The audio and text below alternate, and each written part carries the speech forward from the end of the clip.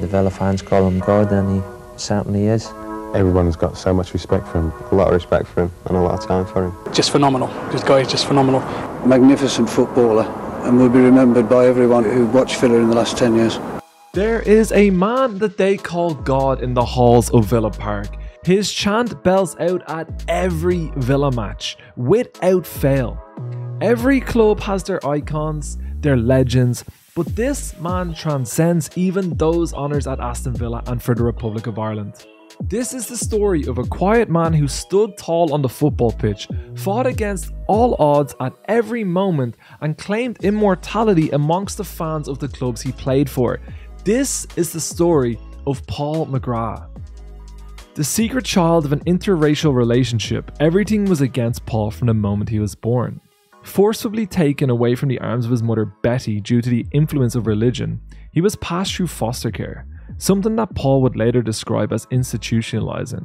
This would not help at all with his future and the struggles to come. Despite growing tall and suffering abuses alongside racism and bullying whilst in care, McGrath grew to be a gentle giant delving into his passion for football, becoming professional, and earning a living from it. His early career was dominating for Dublin based St Patrick's Athletic. It led to him being dubbed the Black Pearl of Inchicore and claiming the FAI Player of the Year in his first season. At 21, it was to be his last taste of the Irish top flight as Manchester United came calling. The Red Devils from over the water actually lowballed McGrath, and it almost scuppered the move. McGrath was earning more money working shifts as an apprentice metalworker alongside his football at St. Than United were offering. The world of football should thank Paul for taking a chance. Despite his ability, Paul's shyness and willingness to take a backseat in a barking dressing room conversations didn't help him succeed at Manchester United. Players like Norman Whiteside beamed with confidence. McGrath did not. The two would become close, but McGrath just couldn't absorb the belief that Whiteside had in himself and his own abilities. McGrath's raging nerves couldn't be tamed, and he turned to alcohol to settle his clouded mind before games. It did not help at all that McGrath just refused to forgive himself for simple on pitch errors, nor did it help that a dressing room drinking culture was alleged to be thriving at Manchester United under Atkinson. Reoccurring injuries, a failure to secure a title for Manchester United in 1986, and the arrival of Sir Alex Ferguson put paid to McGrath's United career. It is said that Ferguson tried everything to get McGrath fit. The soon to be Manchester United legend was apparently stunned by what he thought was a total lack of application and professionalism by the players, and he threw McGrath in with the rowdy bunch causing the trouble. With injuries piling up and a lack of progress on the fitness side with McGrath, one of the final straws was a fateful TV appearance from Boat McGrath and Whiteside, where Boat appeared to have sank a few pints before going live. It was a bit of a, a, a stopping point with Middlesbrough, but hopefully we can continue now in the uh, in, in, in the FA Cup. Ferguson almost immediately offered to pay McGrath off should he retire from football there and then. Once more, McGrath made a fateful decision. He continued to train for Manchester United after turning down the offer to retire and transferred to Aston Villa. And this is where his story really begins.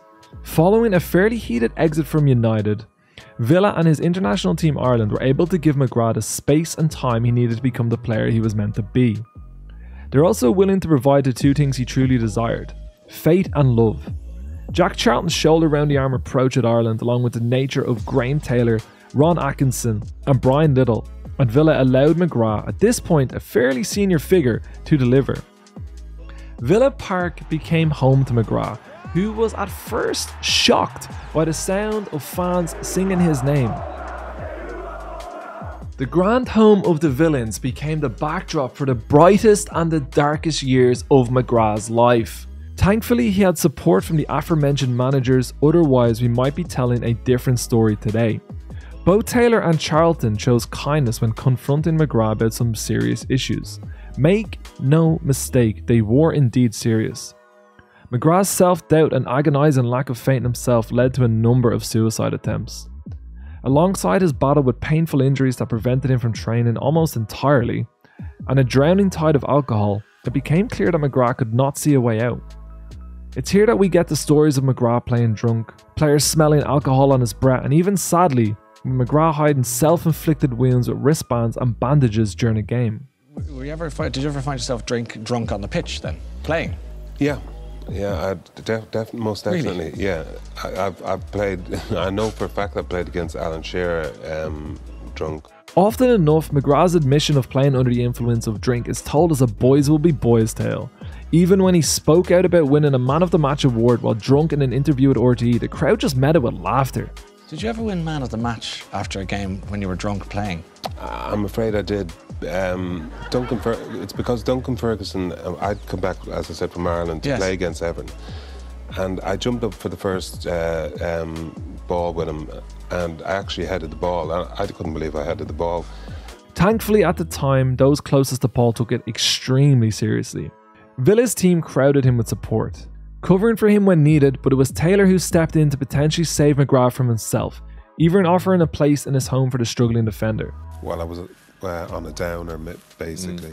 So, and and Graham had come come to me and just said, "Paul, look, if you want to come and stay with myself and Rita, you're welcome to do that, and we'll we'll we'll get you right."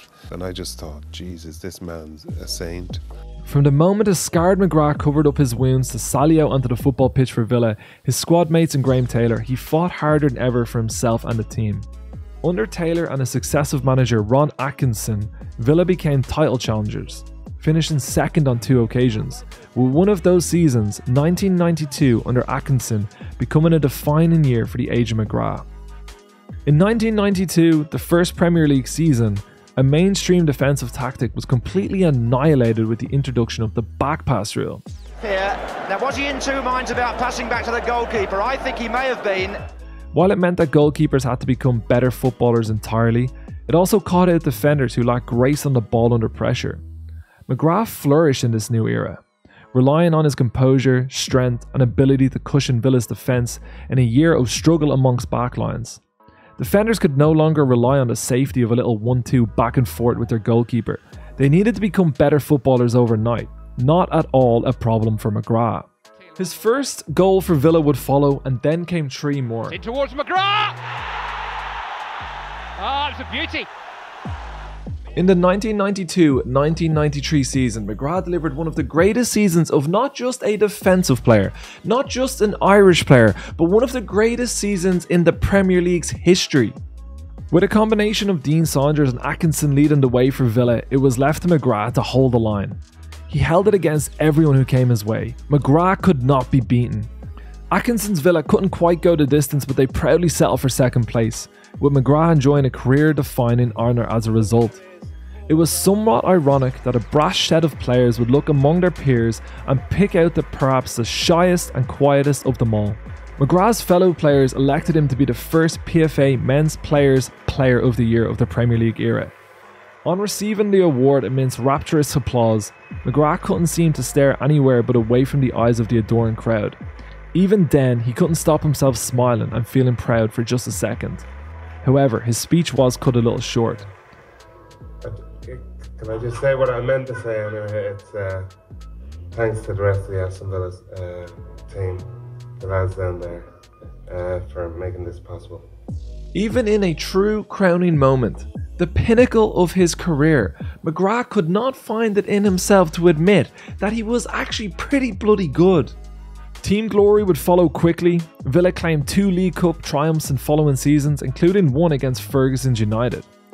As he approached the summit of his footballing days, there was one last chance for McGrath to remind the world of who he was, and it wouldn't be in the claret and blue of Aston Villa, but in the beaming emerald of Ireland.